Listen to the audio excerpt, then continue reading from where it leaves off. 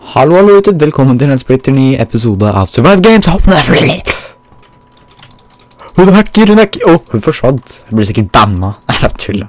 Jeg vet at jeg stiger der, altså.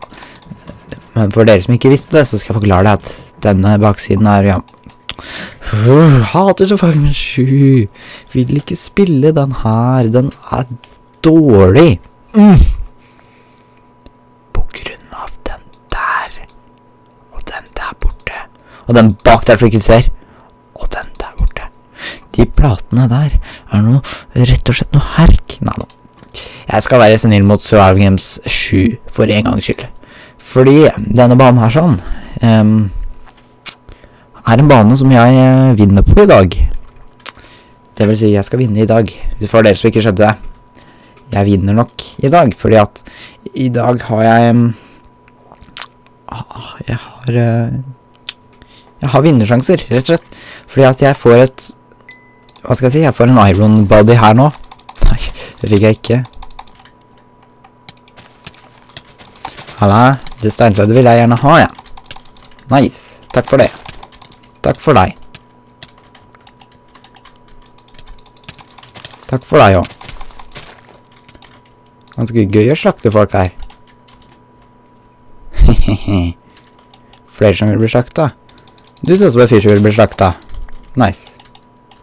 Da var det ikke flere. Eller, han der borte kanskje? Uh, jeg tror alt har blitt luta her i nå. Uh, jeg har vel lov til å sjekke. Oi. Nei, jeg har boots. Gidder ikke å plukke opp så ræva dritt. Her var det jo faktisk TNT. Uh, da har vi luta alt. Da gidder ikke å være her. Og der sto det jo en. Gratis skritt til meg. Takk for det.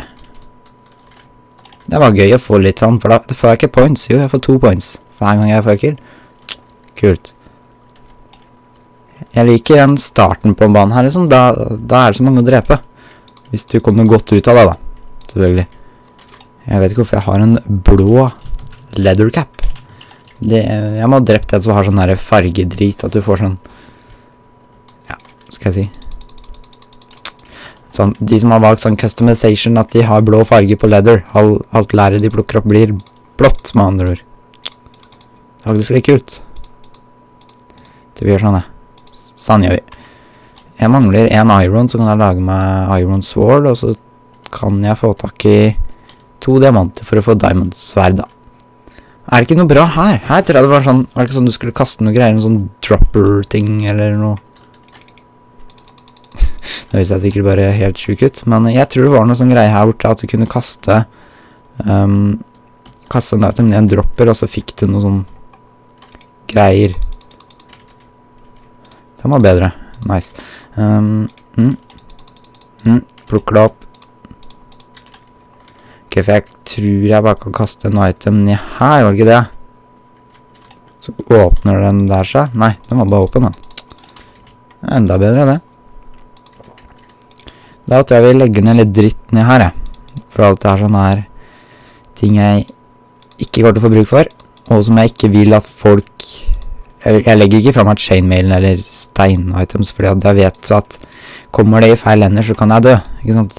Jeg tenker litt smart. Hashtag taktisk bitch. Men uh, det jeg mangler nå, er bedre hjelm og et bedre sverd, eventuelt. Hvis jeg greier å få tak i det, da. Og det er litt verre å få Oi. Få tak i. Sånn. Det sverdet kan faktisk bare ligge der. Der er det jo faktisk en person. Rett ved oss. Kanskje han har vært og luta noe bra.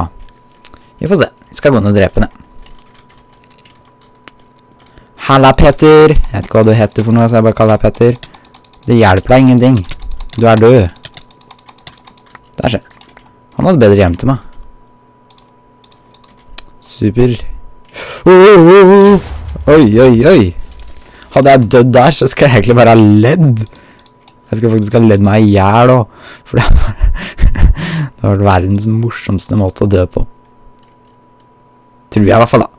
Uh, hva mer kan jeg legge fra meg? Den er dritt. Det er dritt. Fishing rod er altså dritt i mine øyne. Mange liker det, jeg liker det ikke. Uh, trenger jo ikke det når jeg har bedre her. Uh, din, din, din. nå kan jeg crafte. Uh. Vi må finne et crafting table. Oi, faen, det var pressure plate, pl- pl- pressure plate der. Men jeg har en liten knapp tid, liten tid på meg, hvis jeg skal rekke å få crafta. Så vi må gå tilbake til eh, spawn, og eh, få crafta et ironsverd. Jeg tror det er crafting table i spawn, er det ikke det? Det finner vi fort ut av.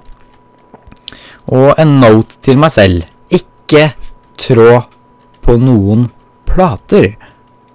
Oi, det er en person. Nei. Du er bare dritt, du. Men du er en bue. Å ja. Du tar den, ja.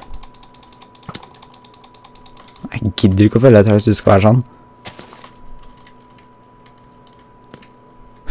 Kommer faktisk etter meg. Litt nice, det. Greit, det, hvis du ville dø. Faen, folk er så dumme noen ganger. Unnskyld at jeg sier det, altså. Men jeg er liksom Burde skjønne at du ikke Haha, Bare sånn fordi jeg kan, skal jeg klafte to.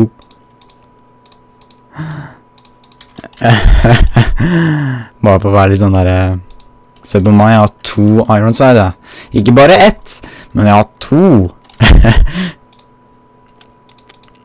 det har har vi har bra vinnersjanse, vi nå. Har vi ikke det? Vinner vi ikke nå, så er jeg ganske dårlig.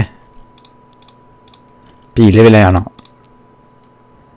Bare legg frem all den dritten her, altså. Sånn. Den kista der er ganske preppa med bra støff nå. Altså. Akkurat nå digga jeg Survival 7. Jeg har alltid snakka dritt om den. I dag så er det that moment over. I dag skal jeg snakke positivt om Surviving 7. Surviving 7 er en veldig gjennomført bane som har veldig bra design. Den har en kul bru, kule hus og en fremtidig look, rett og slett. Den eh, har noen bugs med disse platene. Fuck de platene. Hater de platene. Uh. Men eh, ellers er den ganske ok. Den er faktisk ganske bra bortsett fra de platene. Det må jeg innrømme. Nå skal jeg drive med litt sånn herverk. Jeg skal knuse alle buskene, for jeg har ikke noe annet å gjøre. Og det er jo faen noe deathmatch allerede, ja. Fett. Så lenge ikke jeg møter noen teams, så vinner jeg. Tror jeg.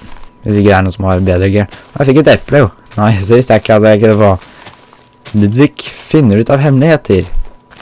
På The Hive. Join nå. ja, det var ganske kult å knuse busker. Aldri vært så åpent her før, tror jeg. Kanskje da de bygde mappet, så var det kanskje litt åpent, men ellers Ellers tror jeg ikke det var åpent der. Ok, nå, nå er det ikke så ganske mange busker. Nå må det være veldig åpent der, altså. Altså, nå ser jeg. Oh, det hender så veldig rart ut. Tenk så spående, så ser du bare det her i stedet. det var jo fucka. Ja, vi starter nå. Skal bare briefe litt med at jeg har to Iron Sword. Se på de. To stikk. Ikke bare én, to. Skal gjemme her. Det er taktikken min. Være en feg jævel. Og så fly på. Eller skal, eller skal jeg drite i det? Ja. Hei, hei. Jeg har bedre gear enn deg. Gå og dø. Gå og dø, da. Din juksefaen. Juksefanter. Er det de er. Hele gjengen. Timer opp og greier.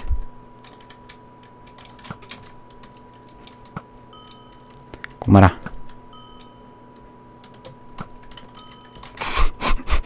nice. Ok, da har vi han der igjen. Skal dø han der skjønner dere. Han der skal dø han også. Hvis ikke han hacker, da. Da skal han ikke dø. Da dør jeg mest sannsynlig. Ok.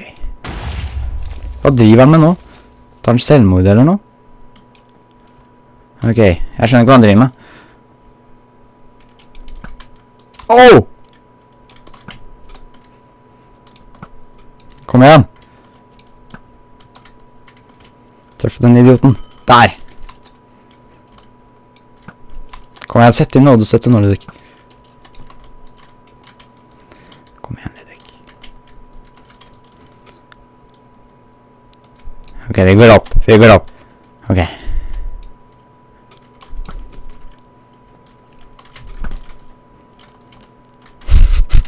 Idiot. Kom igjen. Oh, yes! Yes! Yes! Vi vant!